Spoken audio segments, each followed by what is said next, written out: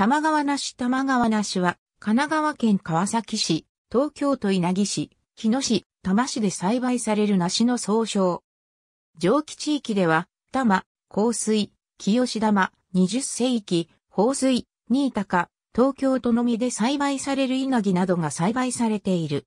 2012年現在、中原区、高津区、宮前区、多摩区、麻生区で栽培されている。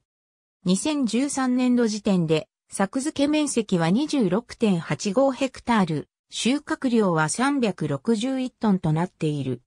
新神奈川名産百選、神奈川ブランド、梨を試験栽培している、玉城げ戦国の川崎市農業技術支援センターの梨の花が神奈川の花の名所百選に選ばれている。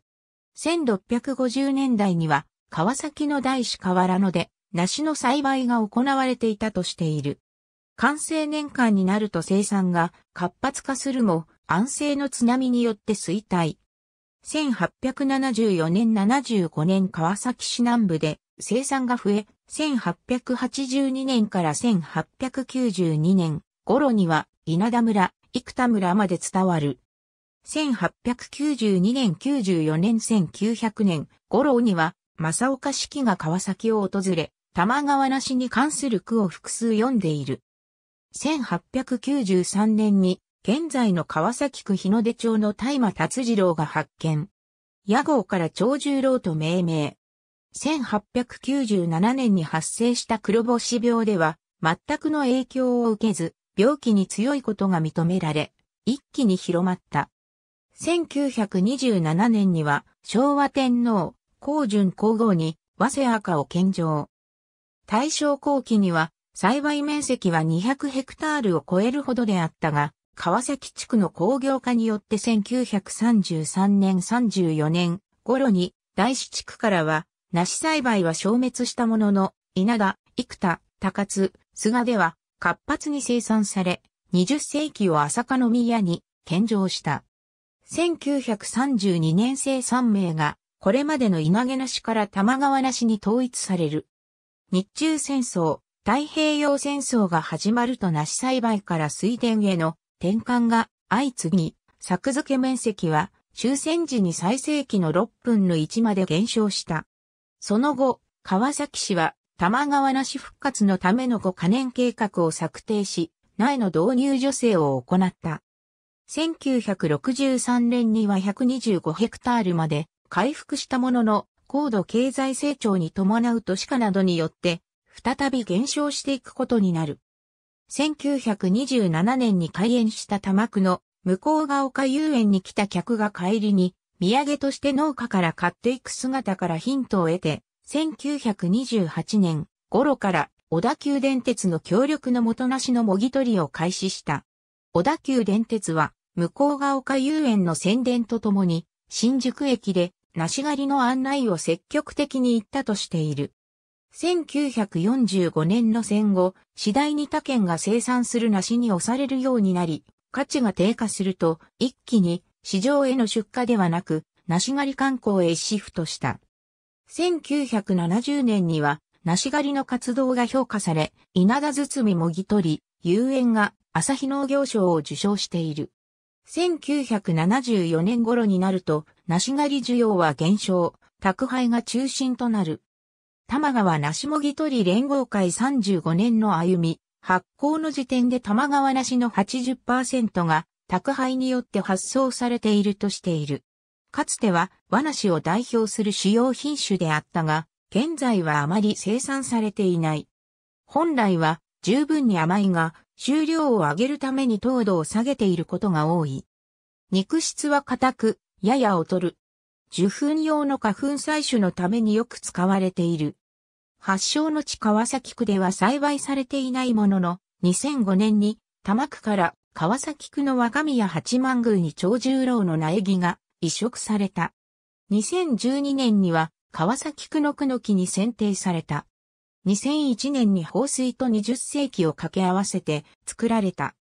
多摩区生田で作られたことからこの名前が付けられた。販売は直売のみとなっている。